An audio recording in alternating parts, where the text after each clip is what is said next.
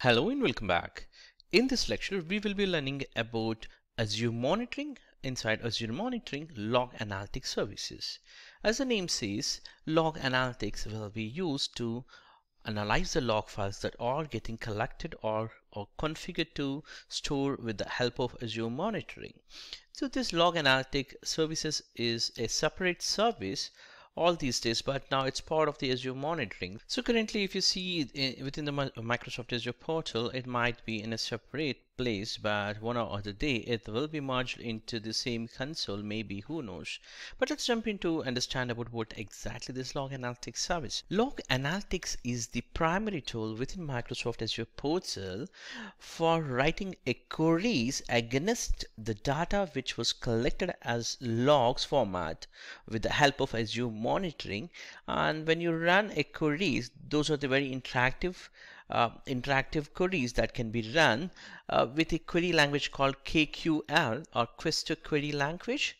KQL stands and this is a rich uh, language designed to easily read and author and you can easily actually learn this kind of you know language and this is fully based out Azure Data Explorer.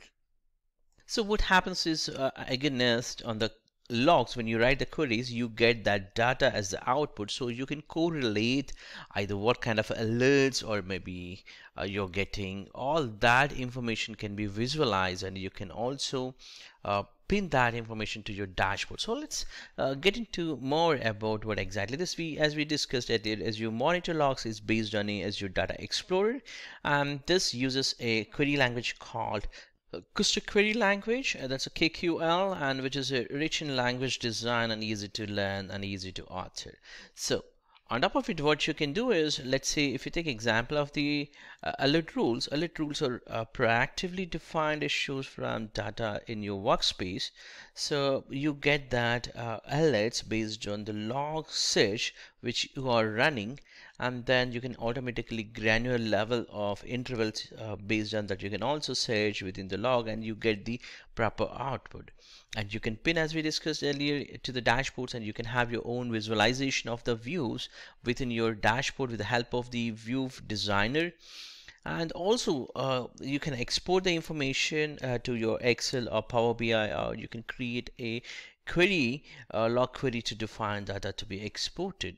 And also there's a log analytics can work uh, if you run the PowerShell command you have the PowerShell command called get-az operational insights search results. So with this you can actually uh, search uh, and you can uh, use the Azure automation runbook and all that information can be pulled so that you can retrieve the logs within uh, Microsoft Azure monitoring.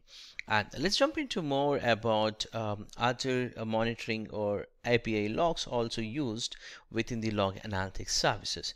Now it's time for us to understand more about uh, what exactly this query is. So this query looks uh, this is a very simple query uh, which talks about security events which are if you see this is how the query is will be there which is written um, in a KQL language. And um, this is a security event where time generated ago around seven days.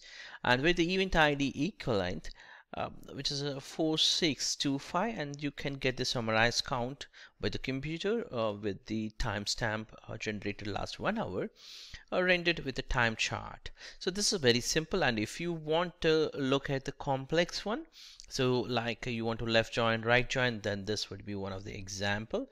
So yes you do have here left and right joining all other tables information also possible and let's jump into how actually workspace looks. So this is the sample dashboard uh, where you are actually running a query. This is where you paste that query or you create a query. These are the views or these are the tables or these are the files which uh, contains all this information. And you can uh, you can write the query and then you get that information. A table or chart format and that's that's how it actually looks the log analytics services.